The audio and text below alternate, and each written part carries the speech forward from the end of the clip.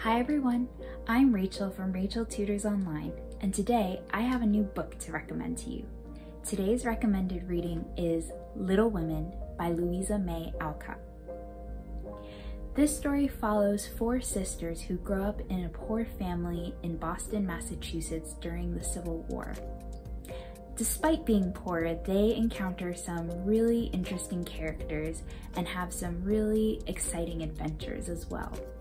They also learn some really important life lessons. This book is great for those of you who enjoy reading about families or sibling relationships. This book is also accessible to students in both middle school and high school.